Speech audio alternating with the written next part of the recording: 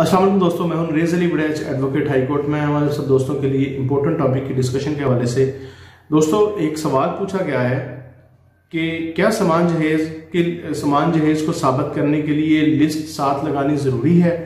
अगर लिस्ट जो है मौके पर ना दी गई हो और अगर हम अदालत में वो लिस्ट साथ नहीं लगाते तो क्या हमारे दावे को भी उसका नुकसान होगा? दोस्तों ये सवाल पूछा गया है। उम्मीद करता हूँ आपको आज की वीडियो पसंद आएगी। इससे पहले मैं दोस्त, सब दोस्तों से रिक्वेस्ट करूँगा कि मेरे law and tax guidance YouTube के चैनल को सब्सक्राइब करें और नीचे दिए गए बेल बेल आइकन को क्लिक करें ताकि मेरे आने वाली नई अपडेट्स एंड वीडियोस आप सब दोस्तों तक पहुँच सके।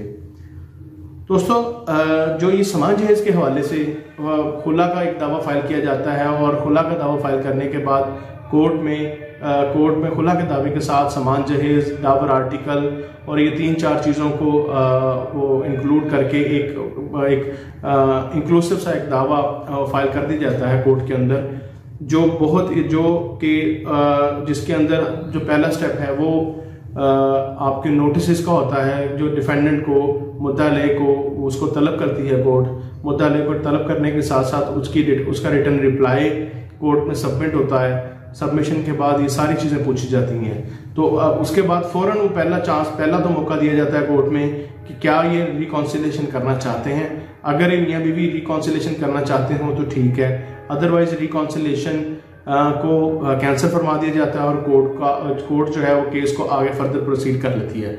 इसमें जो सबसे पहली चीज़ है दोस्तों जो लिस्ट के वाले से इन्होंने पूछा है कि जैसे उसके बाद आपकी जो है वो एविडेंस रिकॉर्ड होती है एविडेंस के अंदर आप ये सारी चीज़ें लिखते हैं कि मेरा मेरा इतने लाख का सामान यहाँ पे गया था। इन्होंने सामान देने से देने से मना फरमा दिया।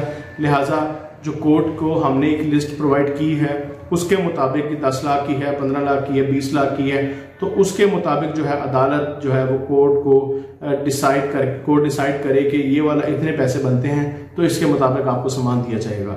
अभी रिसेंटली एक केस था जिसके अंदर 25 लाख रुपया डावर आर्टिकल मैंने डिग्री फरमाया। वो डिग्री इसी इसी वजह से हुई थी कि वो देखें, मैं आपको एक चीज़ सिंपल सी बताता हूँ कि अगर एक हमारा अलमिया है कि आप हमने वो वो चीज़ें ऐड की थी जो बनती थी। लेकिन उस मिस्टेक उस केस में ऐसे हुई कि मैंने तीस लाख रुपए टोटल लिखा था कि तीस लाख का सामान दिया था और हमने लिस्ट भी हकीकता लिस्ट जो है वो आ, मेल के पेरेंट्स को दी थी।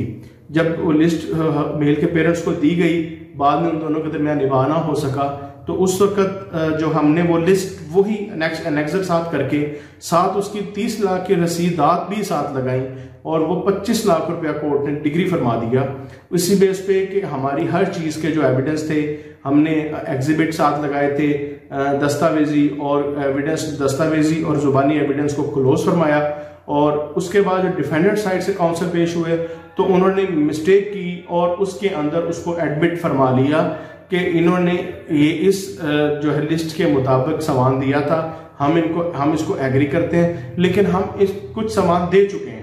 इसी अदा, अदालत ने कोर्ट ने उनसे ये सवाल किया कि अगर आप उनको कुछ सामान दे चुके हैं तो उसकी कोई रिसीविंग दे तो वो रिसीविंग कोर्ट में पेश ना कर सके तो अदालत ने इसी बिहाफ पे 25 लाख रुपए का जो केस था वो डिग्री फरमा दिया डिफेंडेंट के अगेंस्ट तो ये जो मामला थे इन चीज़ों को मद्देनजर रखते हुए बहुत वास्ट चीज़ है।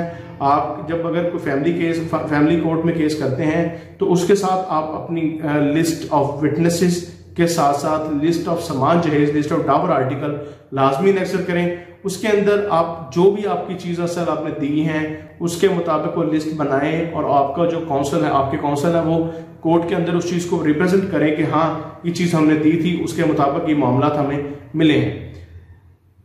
जबकि मेरे पास अब एक साइटेशन ऐसी है कि जिसमें अगर आप जो लिस्ट है दावर आर्टिकल की, वो साथ इलेक्शन नहीं करते तो अदालत जनाब के पास मुकम्मल इख्तियार है कि आपके दावे को खारिज फरमा दे। आपका दावा बगैर किसी एविडेंस के, बगैर किसी ममानियत के, बगैर किसी चीज़ के स्ट्रेट वे कोर्ट जो है वो दावा जो है खारिज फरमा सकती है। उसमें जजमेंट है 2020 Y L R page number 285 उसमें ये लिखा गया कि समान जहेज के दावे को साबित करने के लिए लिस्ट समान जहेज की ज़रूरत होती है जो मुहैया ना की गई।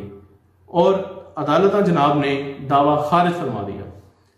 अब यहाँ पे तो दावा खारिज हो गया। आप आगे फर्दर अपील में जाते हैं, अपील में आप समान जहेज की लिस्ट लगाएँ, नीचे बताएँ कि मैं ये लिस्ट नहीं लगा सका।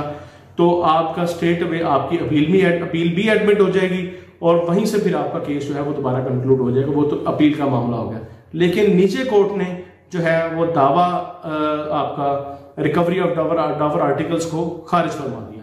तो ये बहुत अहमियत की हामिल है। जिस तरह आप कोर्ट के अंदर लिस्ट ऑफ़ विटनेसेस गवाहन की लिस्ट पेश ना करें और या आपका जैसे अखबार इश्तेहार कोर्ट में ना हो तो कोर्ट जो है वो दावा खारिज फरमा सकती है। इसी तरह ये चीज़ है कि कोर्ट के कोर्ट के, में केसेस के तमाम तर कंटेंट्स को पूरा होना चाहिए।